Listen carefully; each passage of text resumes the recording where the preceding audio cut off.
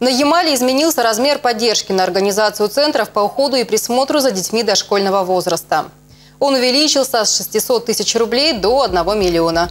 Средства субсидий предприниматели смогут направить на оплату аренды, ремонт помещения, покупку оборудования, мебели, материалов, инвентаря и другие цели, связанные с расширением и развитием своей деятельности – Право на участие в конкурсах имеют все субъекты малого и среднего предпринимательства со средней численностью работников не менее 30 человек.